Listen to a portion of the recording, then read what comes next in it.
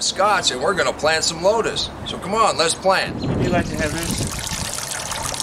Uh, yes. Thank you, Scott. Well, we'll see if we have lotus soil. We'll split these in a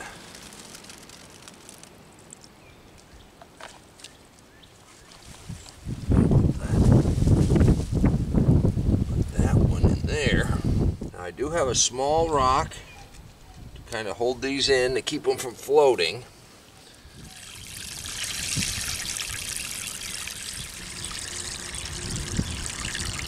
And there you go. That's all there is to it.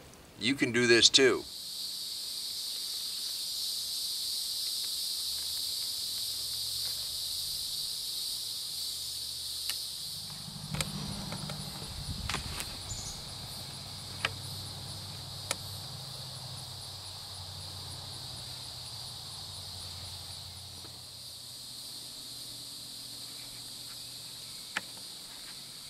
And remember, until next time, take care of yourself, take care of your family, and God bless you.